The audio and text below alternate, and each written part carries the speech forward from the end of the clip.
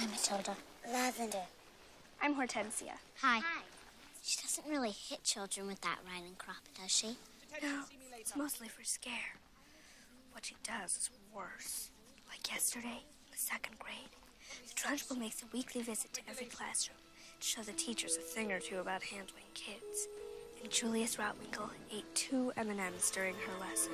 And she caught him? Of course. Ah! Was Julius okay? After being thrown out the window? Of course he wasn't okay. He lived, if that's what you mean. The Trunchbull used to be in the Olympics. Shot put, javelin, hammer throw.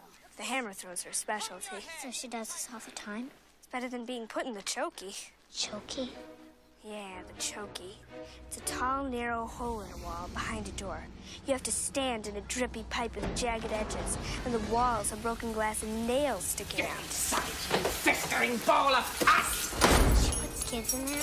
I've been in twice. Sometimes she leaves you in there all day. But didn't you tell your parents? They didn't believe me. I mean, would your parents believe it?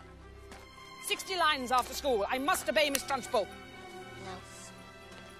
Out of my way. Here she comes. Ah, Fresh meat.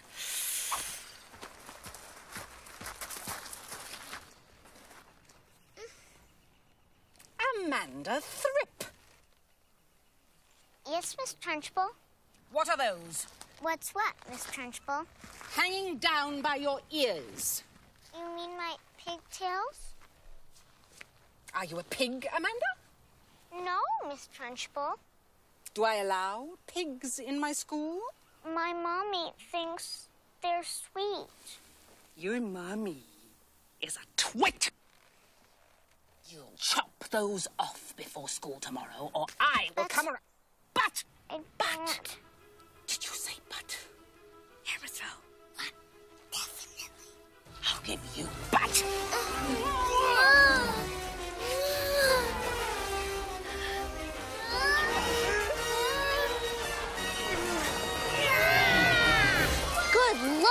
loss! Excellent release. Think she'll make the fence? Can we a close one?